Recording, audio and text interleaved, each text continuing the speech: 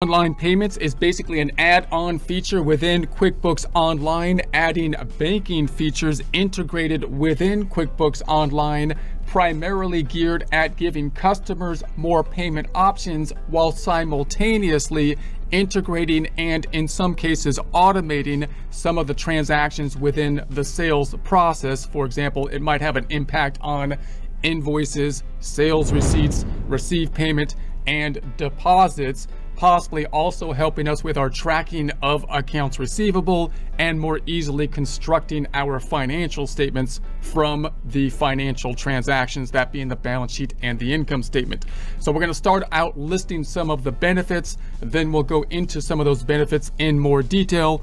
Some of the benefits of QuickBooks Online payments include help accept payments faster, providing payment options on invoices, automates the receive payment process, batches and automates deposit for easy bank reconciliation, possibly provides mobile payment possibilities, can send a payment link instead of an invoice. You can automate reoccurring sales receipts. For example, if you have a subscription model, may be able to connect to e-commerce or such as a Shopify or other related types of systems.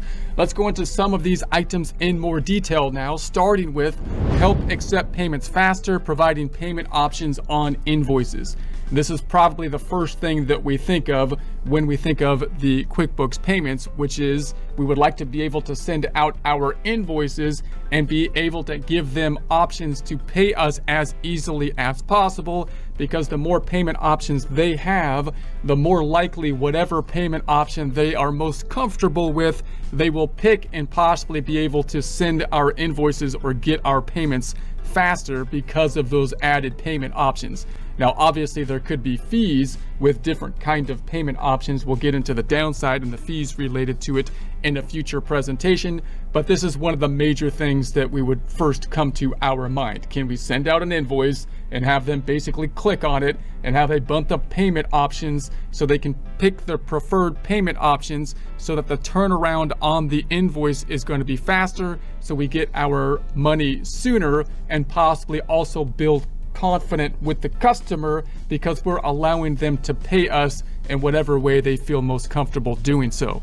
So you got the ACH, which is an automated clearinghouse. This is basically the system used for the electronic funds transfer. So in other words, if they want to pay from a transfer from their bank, they may have that option. They've got the credit cards, and I think basically all the major credit cards are there, Visa, uh, MasterCard, Discover, uh, American Express. They've got the PayPal option, so some people really like their PayPal and are using it like uh, a checking account, so, so that could be quite useful to some people. Same with the Apple Pay. Some people are quite comfortable with Apple Pay. It's an easy thing for them to do. If we can send them an invoice and say pay us through Apple Pay or PayPal or a credit card, whatever they're comfortable with, and we have multiple options, it's likely that the turnaround on our invoices will be faster and that will make it easier for our accounts receivable tracking and that'll be better for our cash flow. So that's one of the first things that come to mind. They also have the Venmo. Okay, so next we have the automates the receive payment process.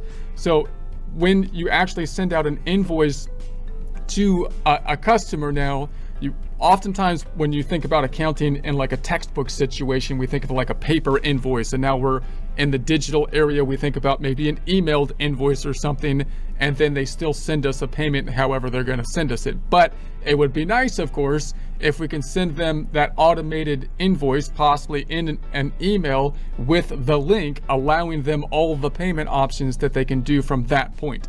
So that's basically what we have here because we've integrated our banking system within QuickBooks so it can more easily kind of integrate that within uh, the the invoice. So now we can kind of automate the whole the whole process on the email. So when they get the email, they will typically have something that looks something like this where they can pay the invoice. Once they hit the pay the invoice, they can generally select the payment options that they think are, are that they're most appropriate to them, which which they prefer, and that's the benefit. They have that variety of the payment options and the invoice can be used to just turn around and facilitate the payment uh, much more easily. So batches and automates deposit for easy bank reconciliation. So On the bookkeeping side of things now, now we have the fact that we're sending out the invoice with an with an email and we gave them multiple ways to pay us through through the link because we're basically using the banking services within QuickBooks, the QuickBooks Payments is basically giving us a banking facility like a checking account, right? So now we're going to be able to track the information that's that's going from the the invoice that we're going to be tracking, which means we're going to track the accounts receivable, which hopefully we don't have to track as long because they're going to pay us faster. And then when they pay us, we should be able to track that with the QuickBooks payments because we basically have like a checking account integrated within uh, QuickBooks through their QuickBooks payment options, which hopefully allows us to automate the payment processes a little bit faster. So payments automatically generate a receive payment form linked to the appropriate invoice. We'll take a look at some examples of this in future presentations, what the normal process looks like and how this automated process may be able to, to simplify it. But once we receive the payment, usually if I got a check, I would have to manually input the received payment. But if I use this automated process, because QuickBooks is linked to the banking services, they might be able to record that transaction for us. Payments are batched and recorded into the bank account in a format that makes bank reconciliation easy. Let's take a look at this on a flowchart. Now, this is the desktop flowchart. We're talking about QuickBooks Online, not the desktop. But the desktop homepage has this nice flowchart. And so let's kind of compare the process if we had QuickBooks Payments versus if we did not have QuickBooks Payments with the sales part of this flowchart. So uh, when we do work, we typically will then send out an invoice and hope to receive payment on the invoice. Or if we did work at the same point in time, we might create like a sales receipt. That's the form you can think of if you're at like a cash register, for example, at like a restaurant. But let's think about the invoice. We did work, we're invoicing the client, we're sending our invoice, which is a bill to them. And uh, normally we send it out and we, we've been able to, even if we don't have payments set up in QuickBooks, we can email them the invoice and then they would have to pay us somehow. Either they can send us uh, an electronic transfer some other way, they get, we can give them a way to give us an electronic transfer through PayPal or something like that, or they send us a check or we have some other payment option that's not linked directly within the invoice with the QuickBooks payments, right? They pay us in some way, shape, or form. And when they do, then we're going to record the received payment at that point in time. Now, when we have the received payment, there's an issue here sometimes depending on the different ways that they pay us. So if they pay us with just an electronic transfer, if we have some batching system like a credit card, if they paid us with a credit card, they might we might be collecting multiple payments from the credit card before the credit card then deposits it into our bank. And so we have this this problem of batching because once it hits the bank, I want to be able to reconcile the bank account to what is in our system, the bank statement to what's in our system. And if the batching from here, if I have multiple things that got deposited together at one time, it's going to show up on the bank statement as one lump sum, which creates a reconciliation problem. And that's can be an issue depending on what your sales cycle looks like. So usually we put the money into undeposited funds. You can put it or into a clearing account, payments to deposit, and then you group the deposits when you make the deposit in the same format that you expect to see them on the bank statement.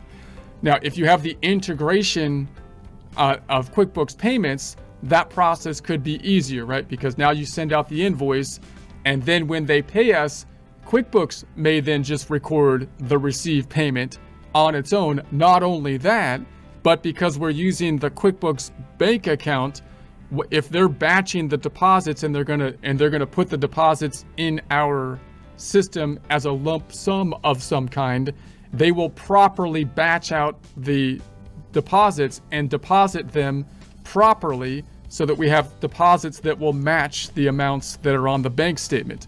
So that could be a huge deal depending on the kind of complexity that you have in your your receivable cycle. So so we'll go into some examples of that in more detail, but that can be quite nice from the bookkeeping side. So we might dive into that in in